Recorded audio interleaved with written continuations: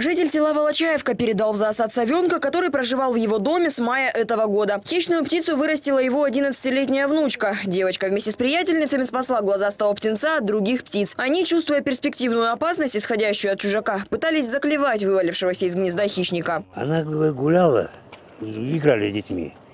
И увидели, сороки летают.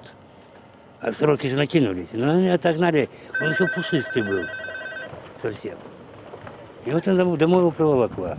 Ну, назвали ее пушистиком его.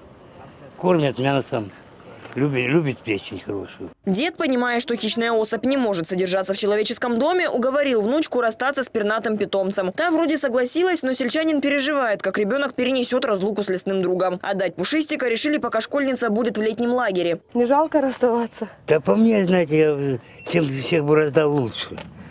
Да. А для нее это слезы вот такие вот рядом будут.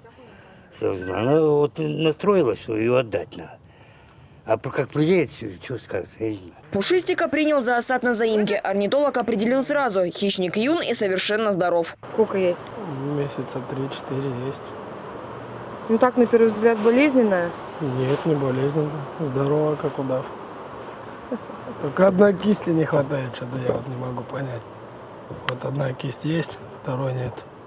На ушах? Да. В неволе совенок будет жить несколько месяцев, пока окончательно не окрепнет. Затем станет ясно, способен ли он будет выжить в дикой среде. Новичка поселили с тремя такими же совами. В их компании он самый старший. С места происшествия Надежда Томченко, Татьяна Шамбурова и Александр Савчук.